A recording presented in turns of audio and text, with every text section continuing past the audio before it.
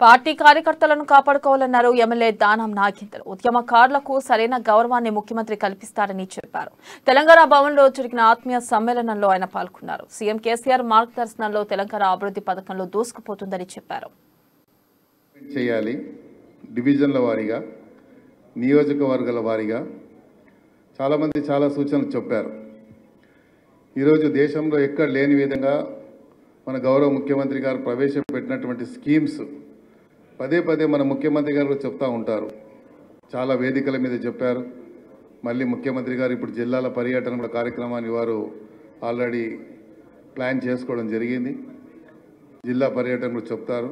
ముఖ్యమంత్రి గారు ప్రవేశపెట్టినటువంటి స్కీమ్స్లో ఉన్నటువంటి అంటే లబ్ధి పొందినటువంటి లబ్ధిదారులు కానివ్వండి బెనిఫిషరీస్ని మనం కరెక్ట్గా వాళ్ళతో ఇంటరాక్ట్ అయితే రాబోయేటువంటి ఈ యొక్క ఎలక్షన్ కాదు ఇంకా ఇరవై సంవత్సరాల వరకు కూడా ఈ పార్టీని ఓడించేటువంటి దమ్ము ఎవరికి లేదు.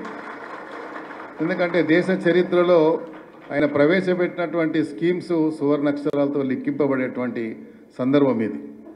ఈరోజు ఇప్పుడే సాయి కిరణ్ గారు చెప్పినట్టుగా హైదరాబాద్ సిటీ ఒక విశ్వనగరంగా ఈరోజు గుర్తింపు